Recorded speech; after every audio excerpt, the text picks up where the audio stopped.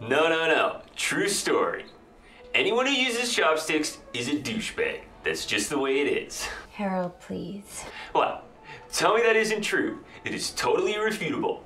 Chopsticks, douchebag. Well, it isn't true, and it's offensive. And I mean, why do they call them chop chopsticks? You ever seen anyone try to chop anything with those? I mean, good luck. Such an idiot. What's that now? I said that you're such an idiot. I see. I thought we had a deal, Ag.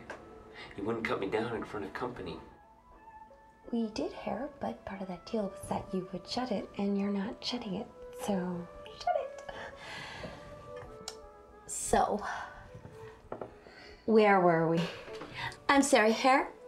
I thought we agreed that you didn't want any hummus. You were wrong, my love. I adore hummus. You know how much I love hummus, so I'm going to have some hummus. No, Cupcake. You did not want any hummus. You're mistaken, my love. I most certainly did want some hummus. Well, son of a bitch.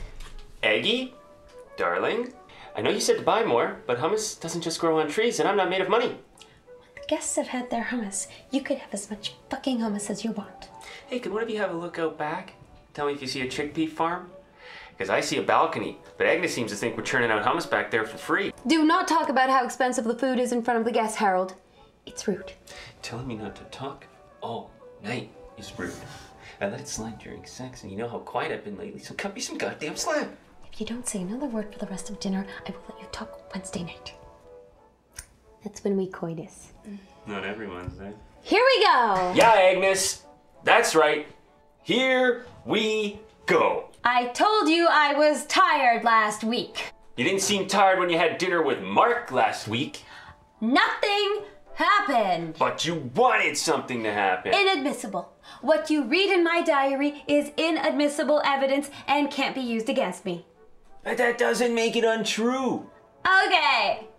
Sure. So I wanted something to happen, like that's some huge secret. I think there's a really strong connection and it makes a lot of sense. And yes, yes, I am very attracted.